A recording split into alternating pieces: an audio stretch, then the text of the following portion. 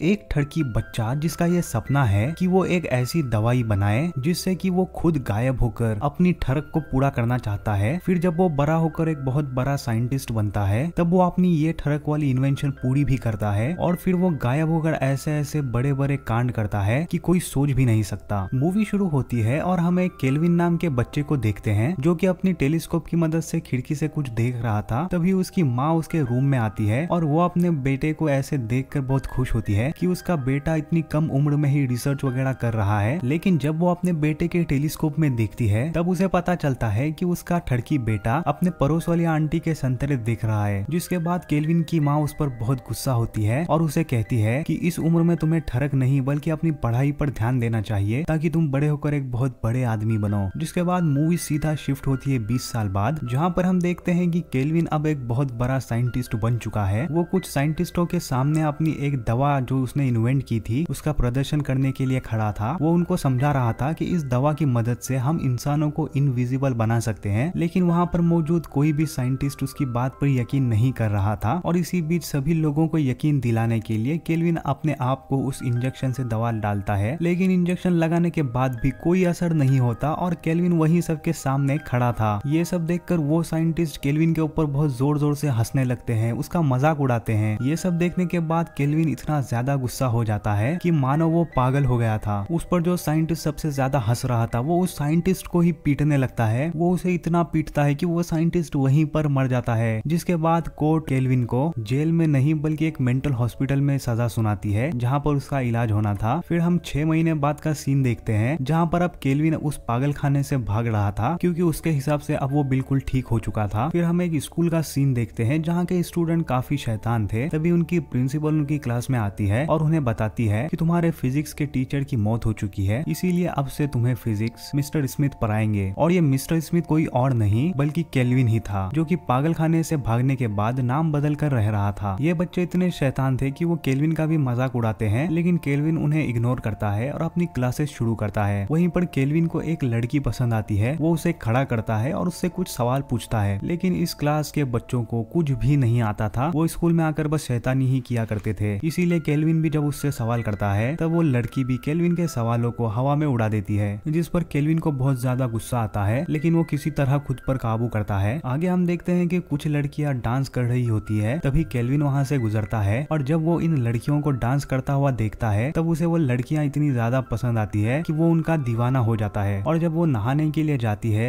तब उन्हीं का एक क्लासमेट वहाँ पर आता है, जिसका नाम जॉर्डन था। जॉर्डन उन लड़कियों को नहाते हुए देख रहा होता है। केल्विन ये देख रहा होता है कि किस तरह जॉर्डन उन लड़कियों को नहाते हुए देख रहा है और मज़े ले रहा है। और फिर जब जॉर्डन वहाँ से चला जाता है, तब केलिन उसी जगह पर जाता है और उन लड़कियों को नहाता हुआ देखता है। केल्विन काफ़ी देर तक उन लड़कियों को नहाता हुआ देखता है, लेकिन तभी वहाँ पर स्कूल की प्रिंसिपल आती है और जब वो केल्विन से पूछती है कि तुम यहाँ पर क्या कर रहे हो, तब वो बहाना बनाता है कि मेरे पैसे यहाँ पर गिर चुके थे, मैं बस उन्हीं पैसों को ढूंढ रहा हूँ। फिर प्रिंसिपल केल्विन को एक एड्रेस देती है और वो उसे बताती है कि तुम्हें इस लड़की का ट्यूशन लेने जाना है, फिर हम केल्विन को उसके घर पर देखते हैं हैं जहाँ पर वो अपने उसी एक्सपेरिमेंट के बारे में सोच रहा था, जिससे कि वो इंसानों को गायब करने वाला था और कैसे उन साइंटिस्टों ने उसका मज़ाक उड़ाया था। और अब इस स्कूल में आने के बाद यहाँ के बच्चे भी उसका मज़ाक उड़ा रहे थे, लेकिन केल्विन ने मन ही मन में ये पक्का कर लिया था कि वो चाहे कुछ भी हो जाए, उस दवा को बना कर ही रहेगा, जिससे कि इंसान गायब हो सके। वो फिर से अपनी रिसर्च वगैरह करता है और फिर से उस दवा को डेवलप करने का काम शुरू करता है। कुछ ही दिनों में वो एक फॉर्मूला बना लेता है। फॉर्मूला तैयार होने के बाद वो अपने खरगोश पर इसे ट्राई करता है, लेकिन इस बार भी कुछ भी नहीं होता। वो फिर से अपने इस फॉर्मूले की कमियों को ढूंढता है, उन्हें पूरा करता है और किसी तरह इस दवा को पूरा कंप्लीट कर लेता है, जिसके बाद जब वो ये इंजेक्शन अपने खरगोश को लगाता है तो वो खरगोश गायब हो जाता है। अपनी दवा को काम करता हुआ देखकर केल्विन की खुशी का ठिकाना नहीं था। खरगोश के गायब होने के बाद वो खुद पर इस दवा को लगाने की सोचता है, फिर दवा लगाने के बाद वो गायब हो जाता है और 10 मिनट बाद फिर से विजिबल होता है, जिससे उसे ये पता चलता है कि इस इंजेक्शन को लगाने के बाद इंसान 10 मिनट तक गायब रहेगा, जिसके बाद केल्विन सो जाता है। लेकिन उसे सपने में काफ़ी सारी लड़कियाँ आती है, जो केल्विन को अपने पास बुला रही होती है। तभी उसका सपना टूटता है, और जब वो उठता है, तब वो ये मन ही मन में ठान लेता है कि वो अपने इस सपने को ज़रूर पूरा करेगा। तभी केल्विन को प्रिंसिपल का दिया हुआ वो एड्रेस याद आता है, जिसका ट्यूशन लेने के लिए उसे प्रिंसिपल ने कहा था। फ़ौरन वो अपना वो इनविजिबल होने वाला इंजेक्शन खुद को लगाता है, और वो उस लड़की के घर पर जाता है, जहाँ पर वो उस लड़की के कपड़े वगैरह उतारता है, और उस लड़की के खूब मज़े लेकर फिर से अपने घर वापस आ जाता है। अगले दिन केल्विन अपने स्टूडेंट्स का एक सरप्राइज़ टेस्ट लेता है और खुद टेबल पर बैठकर बुक पढ़ने लगता है। फिर टेस्ट का टाइम पूरा होने के बाद सारे स्टूडेंट्स मिलकर एक बुक को एक साथ ज़मीन पर गिरा देते हैं, जिसकी आवाज़ से केल्विन अचानक से डर उठता है और उसे डरा हुआ देखकर वो बच्चे काफ़ी खुश होते हैं और उसका मज़ाक उड़ाते हैं। उन बच्चों का हंसता हुआ देखकर केल्विन को उन साइंटिस्टों की याद आ रही थी, जिन्होंने उसका उस दवा के फेल होने पर मज़ाक उड़ाया था। इस बात पर केल्विन को काफ़ी ज़्यादा गुस्सा आता है और वो उन बच्चों का टेस्ट छीनता है और उन सारे बच्चों को फेल कर देता है। आगे हम देखते हैं कि प्रिंसिपल एक बच्चे को अपने ऑफ़िस में बुलाती है और वो उस बच्चे से कहती है कि तुम्हारा मैथ्स बहुत खराब है, अगर तुम ऐसे ही पढ़ाई पर ध्यान नहीं दोगे, तब तुम्हें आगे किसी भी कॉलेज में एडमिशन नहीं मिलेगा। आगे प्रिंसिपल उससे कहती है कि लेकिन अगर तुम मुझे खुश करोगे, तब मैं तुम्हें पास कर दूँगी। अब इस स्कूल में कोई शरीफ बच्चा तो था नहीं, ये बच्चा भी खुश हो जाता है और वो उस प्रिंसिपल पर झपट पड़ता है और वो काफ़ी अच्छे से उस प्रिंसिपल के साथ घपाघप करता है। फिर हम केल्विन को देखते हैं कि उसे अपने बचपन का सपना आया है। वो सपने में देखता है कि एक डॉक्टर उसकी माँ से कह रहा है कि केल्विन का दिमाग काफ़ी शार्प है और अगर वो किसी चीज़ को ठान लेता है कि वो ये करके रहेगा, तब वो किसी भी हालत में इस चीज़ को पाकर ही रहेगा। लेकिन इसका दिल उतना मज़बूत नहीं है, इसीलिए अगर कोई इसका मज़ाक उड़ाता है तो इस चीज़ को ये सह नहीं पाता और काफ़ी ज़्यादा गुस्सा हो जाता है। आगे हम दो स्टूडेंट्स को देखते हैं जो कि बाथरूम में बात कर रहे होते हैं कि वो केल्विन से बदला लेंगे क्योंकि उसने उन्हें पेपर में फेल कर दिया